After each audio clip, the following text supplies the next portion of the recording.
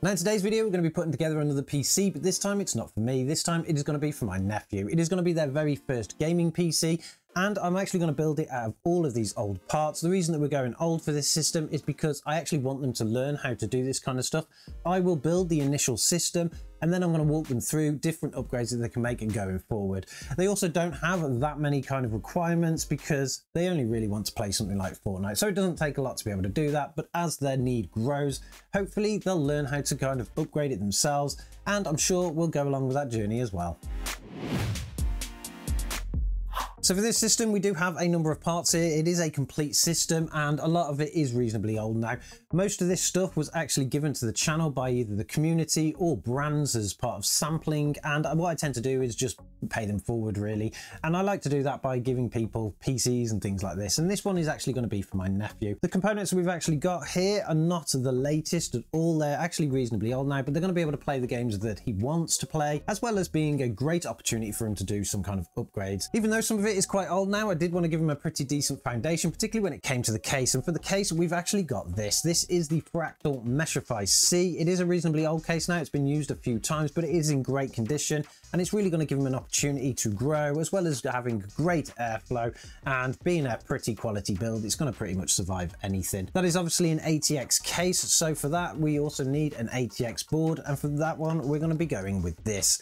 Now, this is a reasonably older board now, and it's actually a reasonably decent high-end board. It is an MSI motherboard, a Z97 Gaming 3, and of course what that means is it's a fourth generation. The CPU inside of here should be enough to actually power all of the games that he wants to play right now, and maybe a few more if we actually did do a bit of an upgrade. We do have four sticks of memory in here. It is the green stuff because that's really all I had in terms of DDR3 in my parts bin, and it, it brings it to a total of 16 gigs. So that's four gigabytes per stick. But again, like I said at the beginning, it's going to give him an opportunity to upgrade this stuff. If he wants to put some kind of better cooled memory in there, he can always do that. Another thing that's cool with this board is that it does come with an M.2 slot which is quite rare for the age of this board, but it does have one. It is only restricted to a SATA M.2, which is what I've installed in there. It's a 250 gigabyte Western Digital Green SATA M.2 drive with a nice little red cooler on it. I think that kind of really goes nice with the rest of the board, particularly with the red and black accents. But aside from the board, we of course need some other components. For additional storage, I'm just going to be installing a very basic one terabyte Seagate Barracuda drive. That is a hard drive, so it's going to be a little bit noisy, a little bit slow, but it's going to be perfectly fine for storing games. Again, if he wants to upgrade, I'll walk him through the upgrade on this, and you can always go to pretty much up to six kind of SATA SSDs on this board. So I don't think he'll have an issue with this, but if he does, uh, I'm walking through that process and I'm sure he'll learn along the way. To cool this i7 processor, we're going to be using a pretty decent cooler here. This is another piece of the uh, kind of puzzle here that's going to be a pretty decent foundation. It is a twin tower cooler from Gelid and it does have six heat pipes. It's going to be more than enough for this i7 processor plus any additionals going forward because I have got all the brackets for this. So if he was to change the platform for an AMD platform or even a modern Intel platform, this thing will actually suit. I do also have the LGA 1700 bracket, so that's actually going to be pretty good. And it also gives us an opportunity to put some kind of RGB in the system because we know kids love RGB in that. We've got all the brackets and the clips and stuff for that there, and we're going to be installing these two fans on it. These are the ones that actually came with it. They are ARGB fans, they have standard connections, and they will all hook together and they'll work perfectly fine on this board. For the power supply, we're just going with a very basic 500 watt here. This is probably going to be one of the first things that I'm going to walk you through upgrading. We're going to probably put something a much better rated in there because this isn't a rated power supply. It's something that is very basic, it's cheap and it works. It's 500 watts and it's going to work perfectly fine for all this kit but it will give you an opportunity to learn how to change a power supply and actually kind of build the foundation stronger as we would say. Then of course for a gaming PC we need a graphics card and again for that we're going to go for something basic. This is my AMD Radeon RX 480 8GB. Now this card is obviously coming to the end of its life now but it will play all of the games that he wants to play perfectly fine. It's got enough VRAM in there to be able to cope with even higher settings on a lot of those games but we, I'm sure we'll do some testing with it and we'll show you what it can actually do.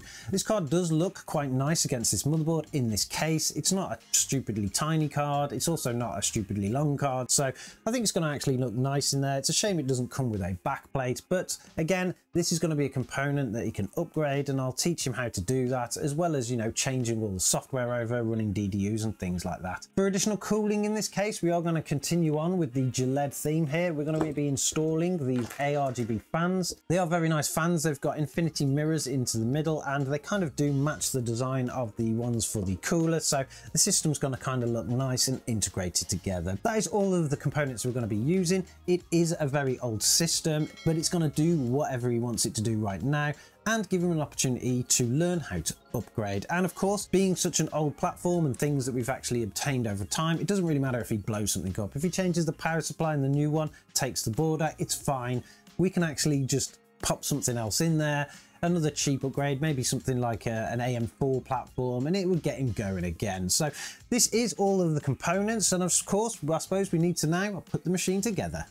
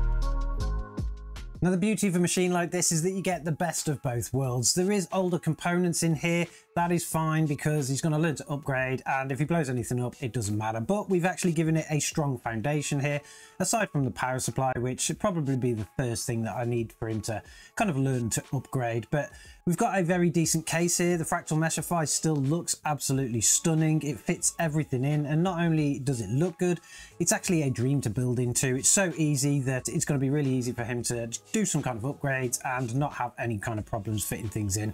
We can still fit in here an AIO if he ever wants to, but we have given him a super strong cooler here, which will fit pretty much any socket. So if he does come to upgrade the platform or anything like that, he's not going to have to worry about also getting a cooler system. It's going to work perfectly fine. The green sticks of DDR3 actually get hidden by this cooler, which is really nice. And of course, the RGB really gives it a little bit of pop and flair, particularly for kids, because they kind of like the RGB. It kind of makes it look a little bit like a gaming machine, but also a little bit premium as well because of the case we chose. When it comes to the specs that are in this machine right now, though, it is going to actually play every game that he wants. He wants to be able to play Fortnite, and if you drop the settings just a little bit, drop it down to a 1080p medium, you're going to get around 100 frames per second.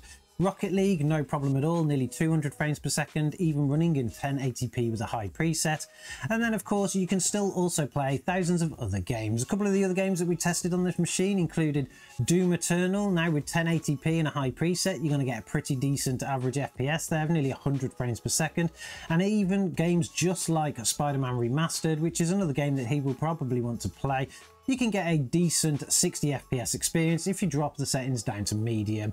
I think this machine's actually turned out exceptionally well. He doesn't even know that I'm building this at the moment, so it's going to be a real surprise for him. Now all I need to do is actually just pack it up, get it all set up and ready to go and I'll deliver it to him. I'll probably walk him through actually setting it up because I believe that he currently plays on a console. He's never had a PC before so this is going to be a real surprise to him.